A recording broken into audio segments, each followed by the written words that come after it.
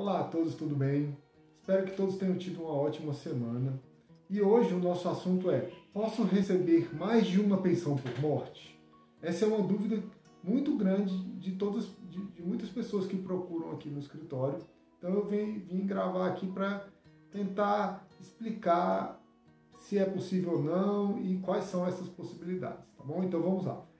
Primeiro, primeiro de tudo é, eu não posso receber duas pensões por morte do mesmo regime previdenciário.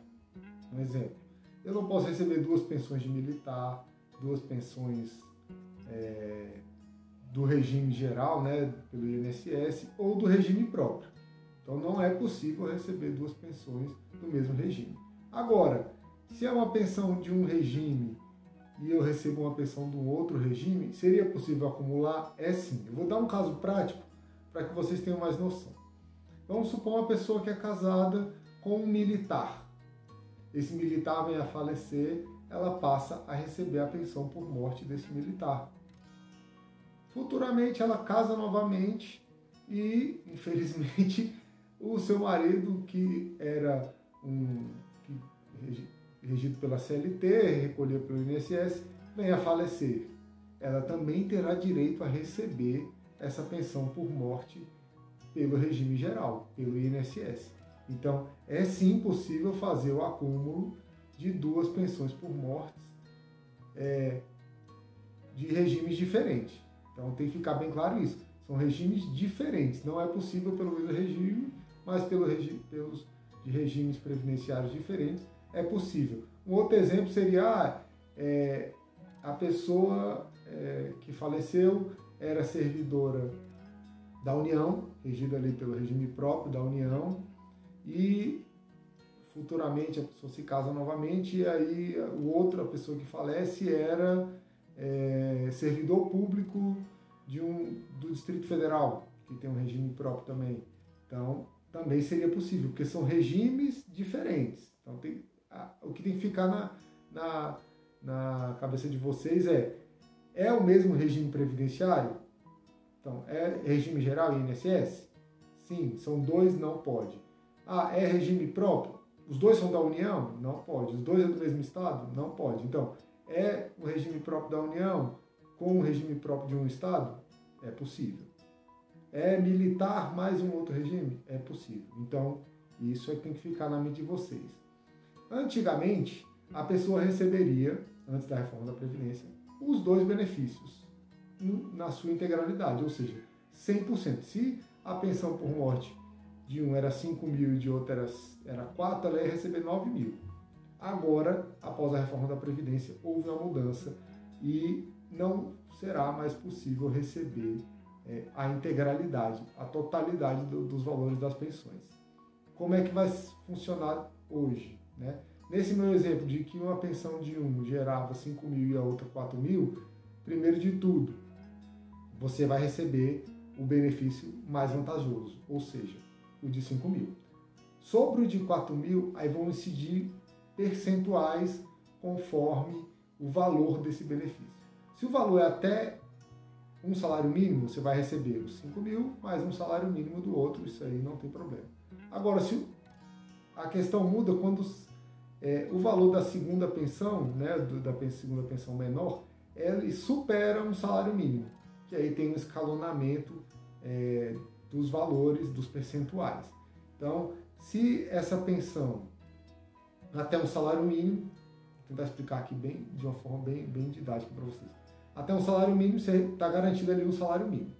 Se você recebe entre um e dois salários mínimos, é, essa diferença, por exemplo, hoje o salário mínimo está 1.212, né? Então, é, até dois salários mínimos, dessa diferença que entre 1.200 até 2.000 e 2.400, vamos, vamos arredondar aqui, você receberia 60% desse valor. Então, além do salário mínimo, você coloca aí mais mil reais, mais, mais 600 reais. Então, já deu mil e... Vou tentar arredondar aqui um cálculo para vocês, colocando salário mínimo de mil reais para facilitar, tá bom? Então vamos lá. Salário mínimo de mil reais, a pensão seria de dois mil. Então a pessoa ela vai receber R$ 1.600, que é um salário mínimo, mais 60% dessa diferença aqui entre um e dois salários mínimos.